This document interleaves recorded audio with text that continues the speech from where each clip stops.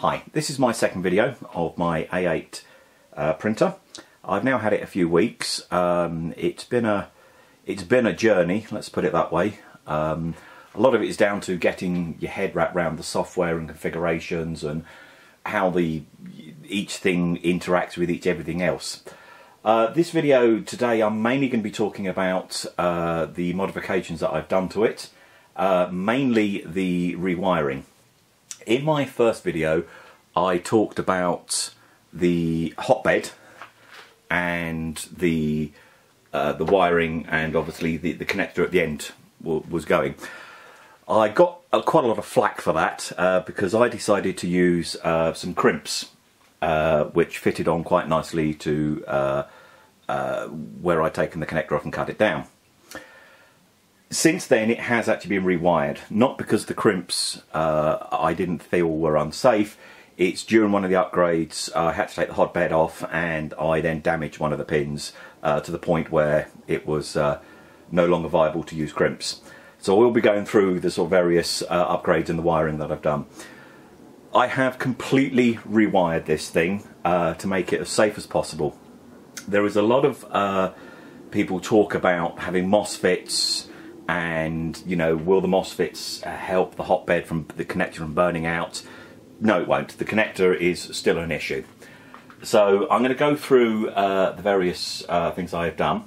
Uh, we're going to start off uh, on this side. Now down here I've fitted a relay. If I can just uh, zoom into that.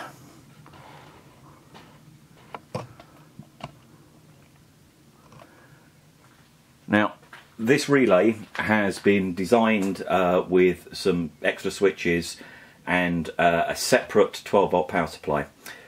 Uh, the, the purpose of this is is that I can leave the printer running and when it gets to the end it will do an auto shut off and it will kill the power supply.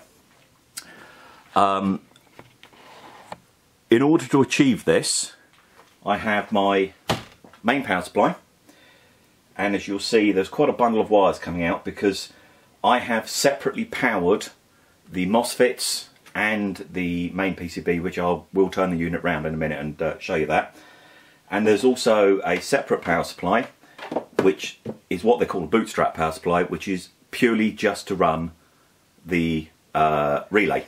So basically what you've got is your bootstrap power supply, which as I say is a separate power supply whose job is literally to supply power to the relay down here.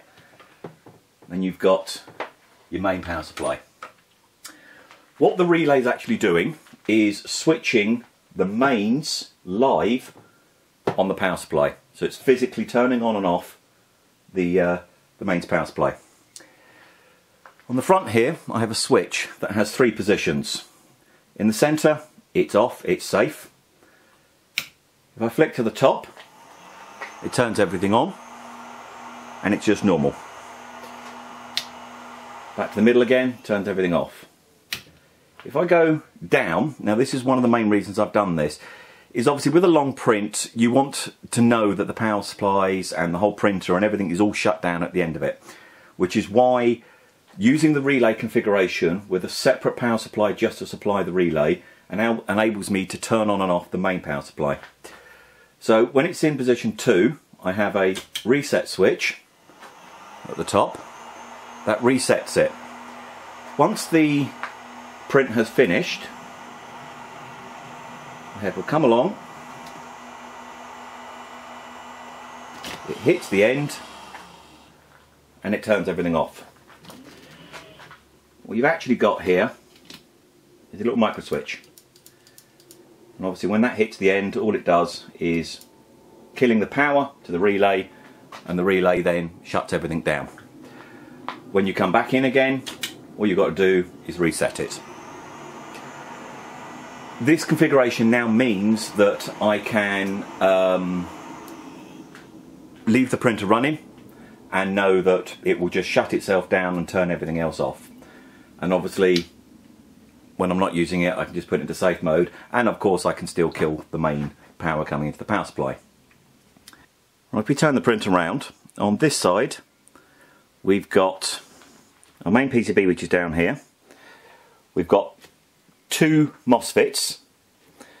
The MOSFETs are separately powered by these nice big chunky cables which go to the power supply. Now the cabling that I've used uh, is 1.5mm cable which I think is 16 gauge for Americans. I'm not 100% sure on that. I have separately supplied each one. Now I do know that some people say what you can do is you can bring your supply in and then take it to the next one and so on and so forth. I prefer to have completely separate so I have the power coming in here and power coming in here um, and this is the hot end and that's the hotbed and then obviously you've got your control signals which just go back down to your your normal outputs on your main board. A lot of people have asked what a MOSFET is. It's fundamentally it's a switch. That's that's all it is. It's an electronic switch. But it's a switch that allows you to turn on and off high current or high power what's happening here is when the main motherboard says turn say the hotbed on it sends a signal up these small wires which this big thing here which is well that's a heatsink the thing that's bolted on the front of it is the switch. It sends a small signal to that which allows the switch and it then powers it up. So it allows full current to go to come in and go back out. The reasons MOSFETs are uh, a very much an advisory thing is because you're taking off all the load off the main board and a lot of people have said that the main board it just can't handle the power the connections aren't there properly uh, you get burnouts and all sorts this is why I've decided obviously along with everybody else to use a MOSFET uh, the MOSFETs as I say are being powered going back, there's three main cables coming in here. One that goes to the uh, main motherboard, two here. And then obviously you've got all your other cabling sort of in and around it. When wiring your MOSFETs, in fact when wiring pretty much anything, use crimps. Now a lot of people are sort of just stuffing the wires in, they're not putting them in properly it can be done without crimps if you, you know, very, very careful. But I've seen a lot of pictures online where they are, the, the sort of cabling standard is, or bits of frayed wire sticking out all over the place. I'm going to talk about the end of the video about crimping and obviously how to make a good crimp. Um, as I say, so I've done this and as I say, it is all completely isolated to each other. Um, and it's not necessary that you, you have uh, two MOSFETs, but they're they're so cheap, you know, it, it's just not worth not having two. Um, but as I say, would definitely advise separately powering back to the power supply. See, on the power supply, you've got um,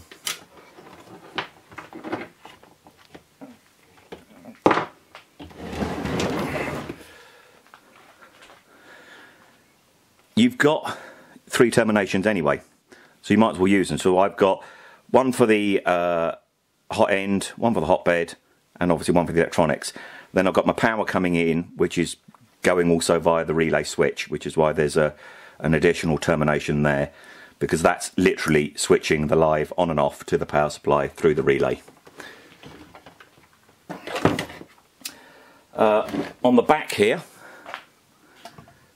while we're here, we might as well have a quick look. We've got our switch that's been added and we've also got an additional switch here as well which is the uh, the reset switch when you're in sort of the, the safe mode. And on the back we have got our newly terminated hotbed. As I say this was done purely because uh, of, damage when I took the hotbed off.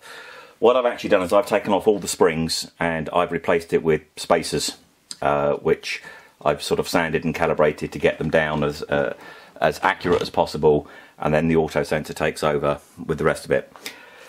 When this was cabled, um, get the damn thing apart. I deliberately wired it so we've got male and female. So um, I believe so the female one here, that's to the thermistor, and the male one is for the main hotbed. I've got a, a photograph which I will put up online uh, in this video showing the uh, connections on here. This soldering here uh, is a bit tricky. You need a decent soldering iron. When you, on the back of the hotbed there are six connections. Uh, two of them are positive, two of them are negative, and then you've got your thermistor in the middle.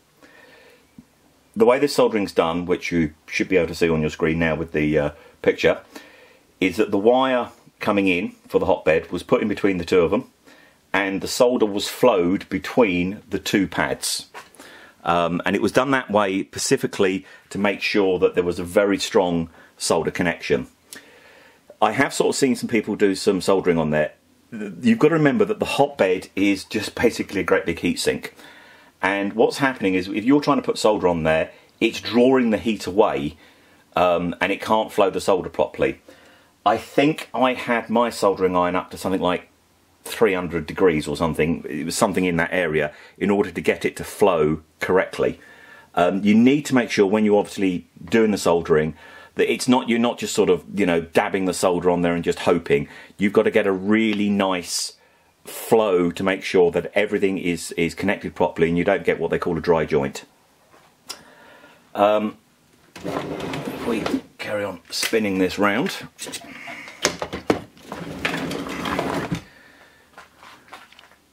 we should be able to get a slightly better picture of uh, the relay. There's the relay. And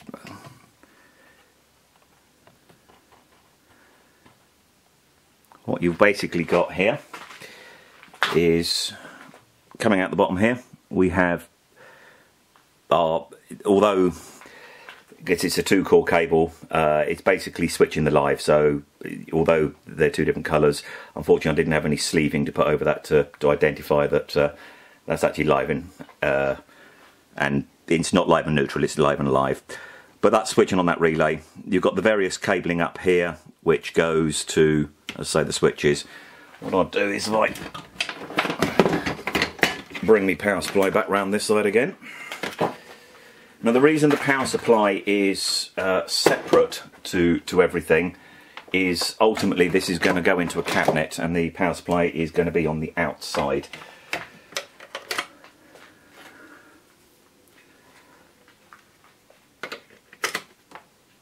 So, if you watch, hopefully this should show up on the video. So that's it powered, and you saw the little uh, LED come up. That's it in uh, the automated shutdown mode. So I flick the switch at the top, that powers it, and when it finishes, the G code has been altered so that it goes all the way to the right hand side, hits the micro switch, which drops the power. Right, so on the front, as to say, we've got a switch. If I put it into my down position, I use my switch at the top. That resets it. And what that's now done is fired the relay, the main power supply has come on, and everything's been turned on. The G-code's been altered so that when the print has finished, the, the head travels to the right hand side, hits the relay switch, and it's now killed the main power supply. So the bootstrap power supply is still running, which is just a very small power supply, so that, that's fine. And when you turn back up again, all you've got to do is move your head off that and hit the reset switch. Obviously, if you're there, you can um, just have it on manual and the switch doesn't do anything. And then as I say if you put it into the center it kills it. And all that's doing is to say once again is dropping the relay and putting that in.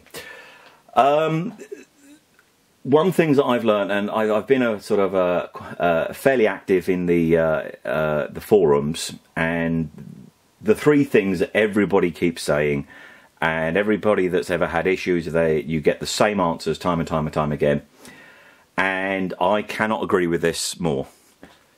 Firstly, tighten your belts. Make sure you've got print some belt tensioners. Um, the belts have got to be. I mean, that's actually gone a little bit loose, probably because I've been moving it around. There we go. That's better. Your belts have got to be nice and tight.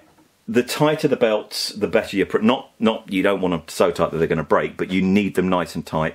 Um, tightening up this belt, it's, it's just it's almost impossible to do because of the way it connects to the back. Um, so first and foremost, get yourself some uh, tensioners printed. Um, as I say, I've got one on the side here, and I've got one on the uh, uh, the bottom for my bed. Um, most people print the nozzle. Uh, that's fine. One of the things I, I, did discover, and I absolutely love this, is the magnetic um, fan for your extruder. It means you can get into your filaments quickly. You can you can see how to feed them and so on and so forth, and it just pops on there. That's fantastic. I absolutely love that. Um, and as I say, the other uh, um, uh, sort of print that I sort of did was obviously the board for holding the dual MOSFETs and the main motherboard. And then we've also got uh, uh, down the bottom here, we've got our tensioner there. So today that's pretty much what I have been doing is uh, getting the uh, relay into position, drilling a hole for that, getting everything sorted. Uh, the rewiring was actually done last week. Um, I did actually want to do the video sort of showing you as I was doing it, but unfortunately I, I was the reason I actually bought this printer was to print some stuff for uh, my business and uh, I needed to uh, get on with it. Um, so um, yes. I'm gonna, while I'm here actually, there's a couple of little things I have noticed. Um, the couplers at the bottom, I'm just gonna zoom into that one. The couplers at the bottom, there is, uh, I was unaware of this when I first got them. This is actually a spring, these aren't just a pattern, this is actually a spring. And when you put this coupler, so you've got your step motor at the bottom, then you've got your coupler, your shaft coming out, that sticks on, and then you've got your, uh, your threaded rod there. The threaded rod and the coupler should not be touching, okay? They, there should be a gap between them. A lot of people, what they do is they just shove it in and tighten it up. This stops this from moving. When they're apart, you can allow a little bit of movement. I don't know if you can see this. I hope you can see this on the camera. If I push that up and down, I think that's just showing up, you can see that that springs up and down. They're supposed to have a little bit of movement in there. It helps take away what they keep going on about the Z wobble.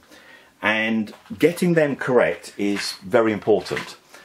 Now one of the great things that I found, if I can find the, uh, there it is, what I did was slacken all of these off. I took the spanner that uh, comes with it, I popped it underneath, okay, so there we go, popped it underneath like that, pushed the coupler back down onto it and tightened it up. This means that the coupler, there is a slight gap which brings the coupler up. When you look inside the coupler, the, the, the shaft coming from the uh, coming from the main, so if you've got the shaft coming from the uh, um, from your motor, and you've got your coupler that sort of sits over the top of it, when you look down inside the, the, the, coupler, you'll see that the top is obviously bigger because of the uh, the threaded rod, and the coupler at the bottom is, is uh, the shaft at the bottom is smaller. Where the two sort of meet in the middle, the top of the motor shaft shouldn't be past its smaller part. And I found that using the spanner tucked underneath was a perfect distance to raise that up. Then drop the shaft in, wait until it hits the bottom, and just turn it very slightly, or sort of I found that you had to sort of twist it as you lifted it. Lift it very slightly and then tightening up. This means that your shaft and your uh, um, shaft on your motor and your threaded rod are not touching. There is the gap. That gap then allows for the springy movement, which allows to take away some of your Z wobble. So that's something which uh, sort of a trial and error thing which I found. Uh, the reason I looked at it is I saw somebody had a reference to it somewhere, and I can't remember what it was, which then made me go back and, and, and look at it. The only other thing that I've done is put some uh, LEDs around the outside, but there is a cable tie here and here. Because one of the things I found is although this sticks on, um, it was uh, the heat, the, just the sheer heat was just making it sort of the, the glue come undone and it would sort of, I came back one day to find that sort of thing sagging, so I may have to uh, uh, review the lighting at some point. Um, so today I'm quite happy that I've managed to uh, finish off finally all the wiring. Uh, I've now got to put it back into its normal position, which means re-leveling everything. Um, and I'm going to go through that uh, re-leveling process uh, as well.